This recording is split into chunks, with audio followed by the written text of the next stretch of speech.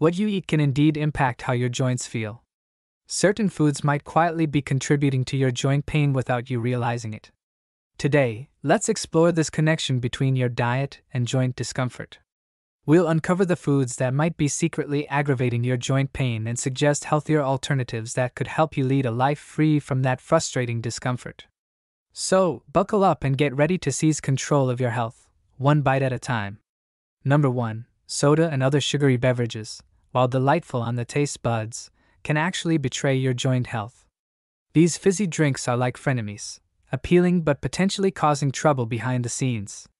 They're loaded with sugar, which can spark inflammation in your body. Inflammation, like health gossip, starts quietly but can spread, leading to joint pain and stiffness. But hold on, there's more to the soda story. These sugary drinks don't just stop at joint discomfort, they bring a whole bunch of health issues. The extra weight gained from daily soda habits puts more pressure on your joints, especially the knees. It's like inviting joint pain to a party you didn't even plan on hosting. Moreover, these drinks can mess with your body's insulin resistance, potentially causing type 2 diabetes, an unwelcome guest crashing your health party.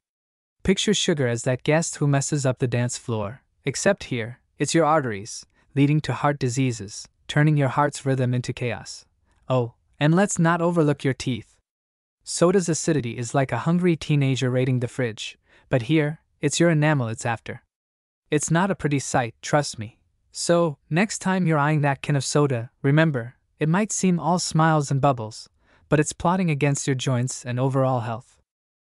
Maybe it's time to uninvite soda from your daily routine and welcome some healthier options to the party. Number 2, white bread, that soft and fluffy staple, might be a cozy companion at the breakfast table, but if you're dealing with joint pain, it's worth reconsidering this cuddly carb. White bread is crafted from refined grains, and much like an overeager barber, the refining process removes all the good stuff. What you're left with is a product lacking in fiber, vitamins, and minerals. It's like the soul has been taken out of the bread, leaving a somewhat hollow loaf. The absence of fiber gives white bread a high glycemic index. It's the thrill seeker of the food world, causing rapid spikes in blood sugar levels, akin to a roller coaster ride. But like any wild ride, what goes up must come down, leading to an energy crash, leaving you more sluggish than a snail in a slow motion race. Regarding your joints, this swift increase in blood sugar levels prompts the body to produce pro inflammatory molecules called cytokines. Think of them as rowdy neighbors throwing a party in your body, inviting inflammation along. It's definitely not the kind of party your joints want to attend. Inflammation from these cellular shenanigans can lead to pain and stiffness in your joints. White bread loves to stick around, not just to your taste buds but to your waistline too. Without the whole grains to keep things moving, it's like the bread settling in for a long winter's nap on your hips. With all the good stuff removed, eating too much white bread is like attending a party with no entertainment. It fills you up but leaves you unfulfilled, potentially leading to deficiencies in essential nutrients. And let's not forget about your digestive system. Without fiber, white bread might leave you feeling a bit, shall we say, backed up. It's like a traffic jam on the gastrointestinal highway. So, the next time you're eyeing that slice of white bread, remember that it might be time to part ways with this fluffy friend. Whole grains are the way to go, offering fiber and nutrients in a hearty handshake to your joints rather than a slap in the face. Number 3 Margarine, the smooth and spreadable hero of breakfast toasts, has been promoted as a heart healthy substitute for butter. However, for those grappling with joint pain, this yellow impostor might not be what it seems. Let's unwrap the truth about it. First and foremost, margarine is typically made from vegetable oils and often contains trans fats. Think of trans fats as the rebellious teens in the dietary world. They break the rules and can trigger inflammation in the body. For your joints, this inflammation is like a never ending rock concert loud, chaotic, and more than a little painful. Why the fuss about trans fats? Well, these fats in margarine are like autotune in pop music. They might make things appear smooth and harmonious, but beneath the surface, they're hiding some serious discord. Trans fats increase LDL, bad cholesterol, and decrease HDL, good cholesterol, bringing along uninvited guests like inflammation and joint pain. These trans fats in margarine can lead you down a path of heart disease, clogging your arteries like a traffic jam on a holiday weekend. Additionally, margarine's trans fats might hinder your body's insulin response, making it as sluggish as a Monday morning without coffee. This sets the stage for insulin resistance and potentially type 2 diabetes. Moreover, margarine often contains omega 6 fatty acids. Yet, an excess of omega 6 without its counterpart, omega 3, can cause an imbalance, much like having too many cooks in the kitchen, resulting in a recipe for inflammation. So, the next time you're spreading that golden layer on your toast, remember that margarine might not be the knight in shining armor it pretends to be. It might have a buttery taste, but it could leave a bitter aftertaste in your joints. Perhaps it's time to consider alternatives like olive oil or avocado spreads, which, unlike margarine, aren't hiding behind a mask of misinformation.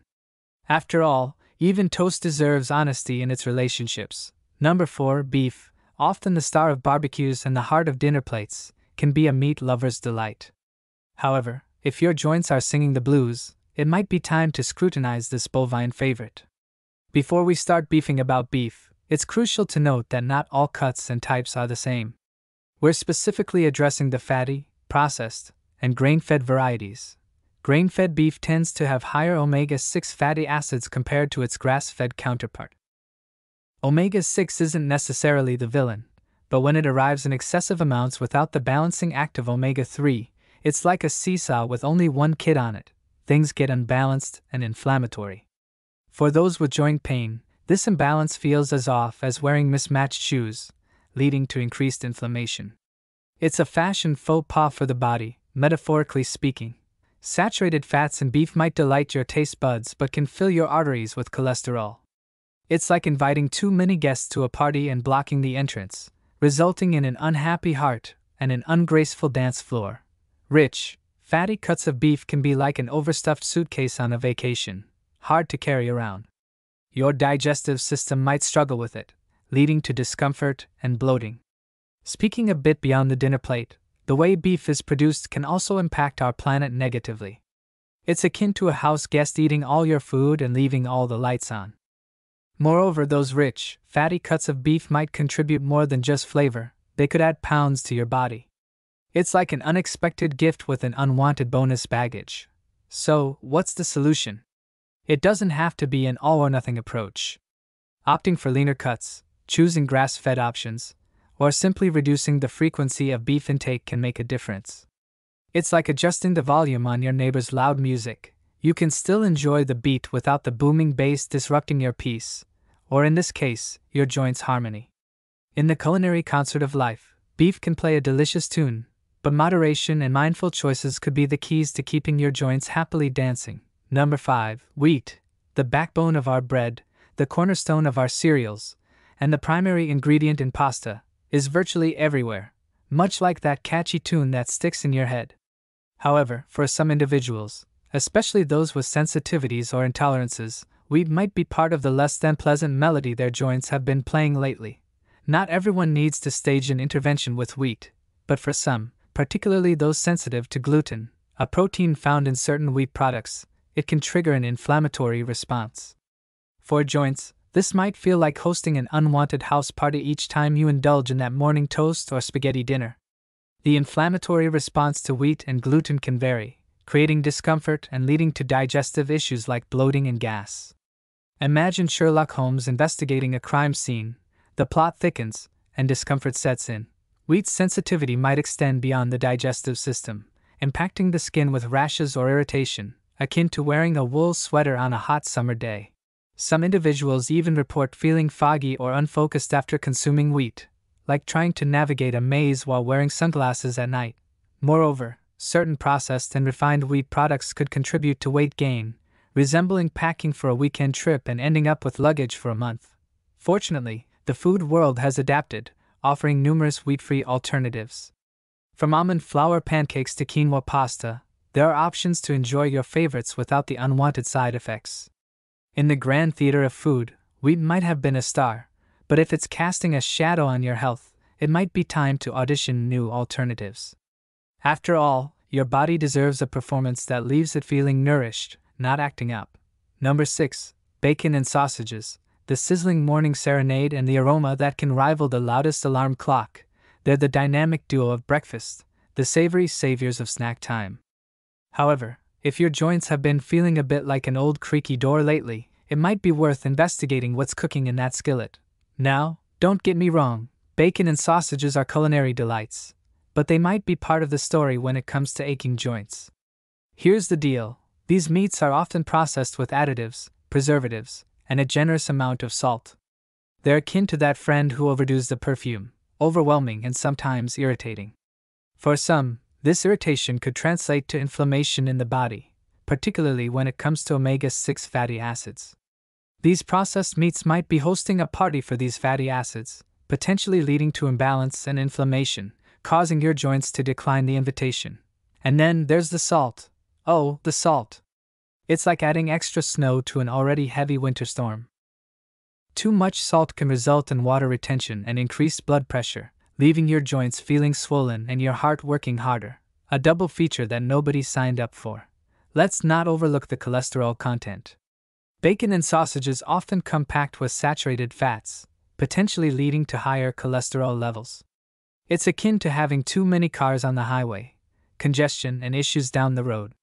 There's also the impact on your waistline. These processed meats might harbor hidden sugars and fats, contributing to unexpected weight gain and it's like receiving a surprise bill after a free trial. Nobody wants that extra weight. However, in the world of breakfast meats, if chosen wisely, there are leaner, healthier options available. Seek products with minimal additives, lower salt content, and quality ingredients. It's like finding a golden ticket in a sea of lottery tickets. I'm not saying you have to break up with bacon and sausages forever, but it might be time to redefine the relationship. Your joints might thank you with a sigh of relief, and your overall health might just write you a love letter. So, the next time you're at the breakfast table pondering the eternal question of bacon or not bacon, consider the implications. Sometimes, a delicious detour might lead to a delightful discovery, and your joints might join you in a happy dance instead. Number 7. Cheese and full fat milk, the darlings of dairy that have graced our tables and sandwiches and coffee cups, whether it's a sharp cheddar, a velvety brie, or a creamy glass of whole milk. These delights have filled our taste buds with joy. However, if your joints have been complaining like a squeaky wheel, it might be wise to hold off on the cheese and switch to skim. Before we churn up any trouble, let's closely examine why these dairy products might be a bit concerning. For some, cheese and full fat milk are akin to that plush, overstuffed armchair, so comfortable but challenging to get out of. They're rich in saturated fats, which can lead to inflammation in some folks. Your joints might feel like they're stuck in that chair, protesting the discomfort. Moreover, if you're lactose intolerant, indulging in these dairy delights might trigger more than just joint discomfort. It could lead to digestive drama complete with bloating, gas, and dreaded diarrhea. It's like a soap opera in your stomach, and no one wants to tune in for that episode. Cheese and full fat milk can be calorie dense, akin to packing a suitcase for a weekend getaway and realizing you've packed for a month. If you're mindful of your weight to alleviate joint pain, you might want to reconsider carrying that dairy baggage. Additionally, these full fat favorites might contribute to higher cholesterol levels. It's like adding more cars to a traffic jam. Your arteries and you certainly don't need that congestion. Now, let's not put dairy on trial without a fair hearing. Not all cheeses and milk are created equal. There are lower fat and lactose free options that might still let you enjoy that cheesy grin without the joint grimace. Consider this a culinary adventure, an expedition to explore alternatives. Perhaps it's time to meet goat cheese or embrace almond milk. It's like going on a blind date with a new dish, and you might just fall in love. In the great dairy debate, knowledge is your power, and choices are your superpower. Your joints don't have to engage in a war with the cheese board or the creamer. With savvy selections and mindful moderation, you can still enjoy the dance with dairy without stepping on your toes. Remember, life's too short to say no to cheese, but it's also too precious to ignore what makes you feel good. Listen to your body. Number 8. Beer and wine, the bubbly stars of backyard barbecues and elegant dinners alike. They've been the life of celebrations, gatherings, or just a regular Tuesday evening. However, if your joints have been sending out warning signals lately, it might be worth reconsidering how often you raise your glass. Let's uncork this topic and dive into the details. Beer and wine aren't necessarily the villains in the mystery of aching joints. but they might play a supporting role. Beer, for instance, contains purines, which can convert into uric acid in the body. Too much uric acid can lead to irritations like gout, which feels like a rave going on in your joints. Certainly not the kind of party you'd want to attend. Then there's the gluten factor in some beers. For those sensitive to it, gluten might trigger joint pain, creating an uncomfortable situation, much like bringing a cat to a dog party. Wine, often seen as the more sophisticated sibling in the beverage family, might contain sulfites that cause inflammation in some people. It's similar to adding too much spice to a dish. It might leave a bad taste in your mouth or, in this case, a bad feeling in your joints. Calories are also a concern with beer and wine. They can add up, much like those surprise extra charges on a hotel bill. If you're managing your weight to alleviate joint pain, these liquid luxuries might not fit the budget. And then there's the alcohol itself. While it may seem like the life of the party, excessive consumption can lead to dehydration, liver problems, addiction, and various other health concerns. It's like overstaying your welcome at the party. It can lead to things going downhill fast. However, before you stash away those bottles, remember that moderation is often the key. It's like discovering a hidden treasure in your own pantry. But like any treasure hunt, it's crucial to have a map and perhaps a guide. Consult with your healthcare provider, understand your body, and navigate the landscape of beer and wine with awareness you might find that the path to comfort and enjoyment doesn't have to be a rocky road. So, the next time you're raising a toast to good times, consider your joints and maybe opt for that toast with a glass of sparkling water or a mocktail. Your joints might just thank you for it. And there you have it, friends the grand menu of foods to approach with caution if your joints are playing a not so sweet symphony. From the fizz of sodas to the sizzle of bacon and the clink of wine glasses, We've dined our way through the culinary culprits that might be behind those creaky, aching joints. But don't let this turn into a tale of foodie fright. Your plate doesn't have to be a battleground, it can still be a canvas of color, flavor, and joy. With a sprinkle of knowledge, a dash of creativity, and a generous helping of guidance from healthcare professionals, you can cook up a feast that satisfies your taste buds without upsetting your joints. Cheers to healthier, happier dining, remember. The kitchen is your kingdom, and you're the master chef. You hold the power to whip up wellness and satisfaction in your own unique way. Listen to your body's wisdom and don't hesitate to experiment with new flavors, textures, and ingredients. Who knows, your next favorite dish might be just a recipe away, so, the next time you're at the grocery store, view it as an adventurous journey rather than a chore. Let your cart be your chariot, guiding you toward choices that not only nourish your body but also support your joints. And if you find yourself reaching for that cheese, remember, there's a whole world of dairy delights waiting to dance with you, just waiting for the right partner. Thank you for joining us on this culinary cruise through the do's and don'ts for joyful joints. If this feast of facts has piqued your appetite for more, don't forget to hit that like button, subscribe, and ring the notification bell for more delicious insights. Happy cooking and here's to your joint health.